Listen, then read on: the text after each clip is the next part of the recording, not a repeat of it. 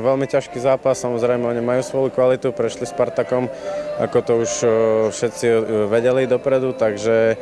my sme rešpektovali ich kvalitu, ale určite z našej strany to nebol ideálny výkon a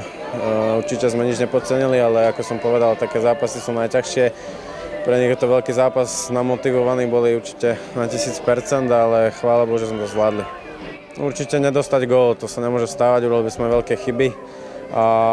hlavne, hlavne vytvoriť si nejaké šance a aj keď sa ťažko dostáva do tých šancí, keď vlastne hrajú takýmto systémom, že bráňa v podstate všetci, ale ťažko sa tam dostáva, ale musíme si našou kvalitou nejaké vytvoriť a hlavne ich premeniť. Ja si myslím, že